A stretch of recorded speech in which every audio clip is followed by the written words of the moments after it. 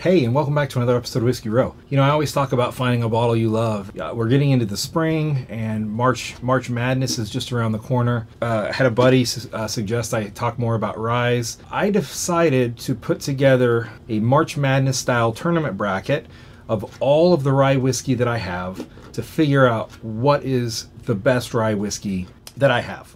I have a decent sized collection, as you can see from from the picture here. It's not the greatest ever, but you know, it's it's quite a bit. So to be in the competition, a couple of criteria. One is it cannot be a finished rye, so none of the you know rum finished, anything like that. That's that's just not allowed for this competition. So it has to be a a straight rye whiskey, a Tennessee rye whiskey. Um, there might be some other variants, but you can't have it be finished in something else. So how I put this together is I took all of the qualifying ryes and I, I, put them on the floor here in the speakeasy and I had my wife come in and I had her just randomly pick four bottles at a time. And she created four different groups based on those four different bottles. As you can see from the bracket in in group A her comment at the beginning was yeah sure I'll help. So that's group A is the sure I'll help group. And she picked out the four. Each of the four groups has one additional special rye. It's a harder to find rye. It's either maybe it's a store pick I picked up somewhere. It's a limited release, like the Knob Creek Cask Strength is was a limited release. Um, the Basil Hayden 10 is limited availability here in Virginia. The Whistle Pig 10 is limited availability. Uh, the Bulleit 12 year was a, a, store pick I got up in Maryland, I think. Anyway, those are those are some special ones. So the she picked out four, and then uh, into each of those four groups, I threw one of the special ones that uh, kind of doesn't really fit into the standardly available. So in Group A, uh, we have the Sure I'll Help group, which was the comment my wife made at the beginning, and then I had her pick another four, and she's like, "Oh, these are the the short ones." So we have the short ones group. Then when we got to group C, her comment was, "You want more?" Which I did. I wanted to pick out another group, so she picked out the uh, group C. Uh, you want more? And then group D is the I don't care anymore, whatever, because I actually made her pick them up off the floor and put them on the table so I could see what they were. So that's how I got the four groups, and that's how they have the uh, each of the four groups with the four that she picked plus uh, the one addition. Then the way we're going to do this, uh, there's also four special rides that I've picked up over time. They're unicorns. They're not readily available to most people or if they are, they're very expensive. And I didn't want, uh, I kind of gave them a boost up in the competition. And those are the unicorns. That's the, the E.H. Taylor Bottled and Bond Rye, the Jack Daniels Single Barrel Special Release Cask Strength Rye, the Midwinter Nights Dram from High West, and then the, uh, the Kentucky Owl 10 Year. Those are all very special bottles, uh, and they're the unicorns. They're going to fit into the bracket in a little bit special spot here, as you can see. So we're going to do a blind tasting for each groups A, B, C, and D. From each group, the top two will advance to the next bracket. Then for group A and B, you'll have the top two from there making four, and then I'm going to do a special video where I do a best of the unicorns and I'm going to taste just the unicorns and rank them. And then the third place unicorn will go with the winners of group A and B. And then the fourth place one will go with the winners of groups C and D. From those five bottles on each side, then we'll take the top two from each of the mid-level brackets and they will go up against the first and second place unicorns. And the hope is that we will determine what is the best rye whiskey I don't have every rye whiskey out there. My world, my universe as it currently stands, these are the ryes that I have. Today, we have Group A in front of us. So let's go through Group A. Elijah Craig Rye. It is retails for $32.99. Uh, it's made by Heaven Hill. It's 94 proof. Don't know really how old it is. Couldn't find out any information about how old it really was. Here we have James E. Pepper 1776. It's an MGP product retailing at $29.99. 100 proof, don't know how old it is either. Here in the middle, we have High West Rendezvous Rye. It is a blend of MGP source and High West own distillate. Retails for $74.99 now and comes in at 92 proof. This position, we've got Russell's Reserve. Uh, retails for $39.99. It's a wild turkey product uh, with an age statement of six years comes in at 90 proof. This is the harder to find, kind of a special bottle. Uh, it's the Knob Creek Cask Strength Rye, retailed for $69.99. Comes in at 127 proof. It's about nine years, supposedly. It's a Jim Beam product. These were randomly picked by my wife. She knows nothing about rye whiskey. As you can see from the bracket, it's kind of spread out uh, all over the place, and that's okay. Uh, the best ryes will come to the top. Uh, they will compete against the unicorns, against those the bottles that we dream about, and uh, and we'll see we'll see who wins. So as I normally do, I have five Glencairns labeled at the bottom with the bottles that they correspond to. These don't necessarily line up with those right now because they kind of got mixed up as I was getting ready to film. Like I said, everything got mixed up before filming as I was kind of moving things around down here in the speakeasy.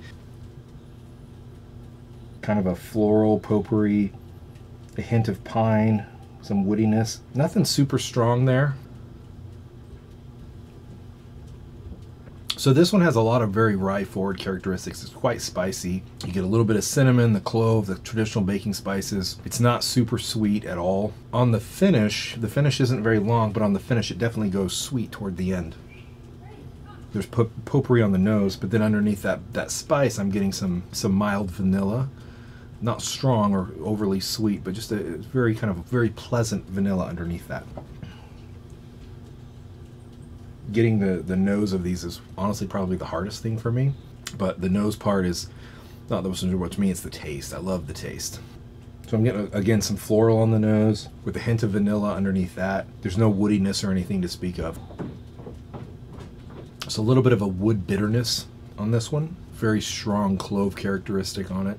But it's got a lot of that potpourri floral front at the very front of your palate. It does have a good kind of a spice in the middle, but there's kind of this aftertaste that goes kind of a, a astringent, piney. I don't love it. I mean, overall, it's actually not that bad because the the front part of it's it's pretty good, and I'm, I'm guessing after a couple of drinks that uh, that finish will fade into something kind of nice. All right. This is very light, very, very faint floral, nothing strong. It's just a very light floral scent. It has a sweet up front and then immediately kicks you in the mouth with this peppery, clove, baking spices explosion. So yeah, it's very, there's this underlying sweetness to it. It's not vanilla or caramel, just a syrupy sweetness. And then the finish is medium long. Ooh, that smells good. It's like floral with some sweetness, a little underlying caramel. I'm getting kind of this this banana bread floral sweetness. That's actually pretty good. So this one hits you up front with a, a, bit of some sweetness, some caramel, a little bit of kind of a banana bread with spices. This might be the Knob Creek. I feel like this might have a higher proof. The finish on this one just keeps going. All right. This one's got a very faint floral with a little bit of an oak. Might have a little bit. This one might have a little bit more age on it than the others. Wow, that's good. Wow, I think that's the Knob Creek. The proof, bam, Rice spice, sweetness, charred oak. Oldest tonight is going to be the, the Knob Creek cask strength, which is about nine year. This doesn't taste younger at all. This has a really nice sweetness to it it's got this kind of a peppery bite, but it's not spiky really. It's it's just this is really good. This is um, this is a very good rye. So normally when I do these tastings, I really have to go back and forth a lot, and and things can change over the course of the tasting. In this one, I kind of just immediately went to a, a set, and I haven't been able to change it. It's literally been the same rankings as I first put them. So in fifth place, we're to go with this one. There's just kind of an aftertaste to it that I didn't really care for that much, didn't love. Fourth place is going to go to this one. Third place to this one. And second place to this one. And first place to this one. So before I uncover what they actually are, um, let me say this. This one was clearly last place to me, my palate. These two were really close, and then these two were really close. I don't know ryes as well as bourbons, so I really am kind of just guessing. Um, I'm going to go with the Elijah Craig on this one, just because normally I don't like Elijah Craig very much. The James E. Pepper, Russell's, Rendezvous, and Knob Creek. I don't know how I did. Um, I don't feel confident in any of these.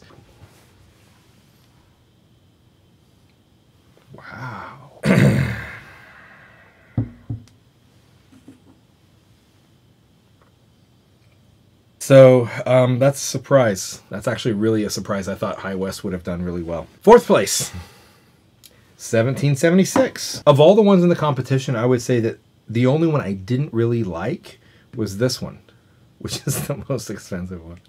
The others actually were all pretty good, just different, just different, um, but pretty good.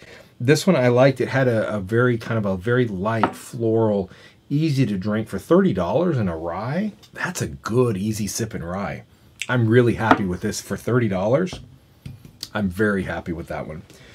Uh, third place, Russell's. Okay. It's got kind of a floral, it's a little bit stronger floral than the 1776. The 1776 I think might be even a little bit sweeter. Like I said, I could swap these two. The Elijah Craig is still in it. Number two, Elijah Craig. This did way better than I thought it would.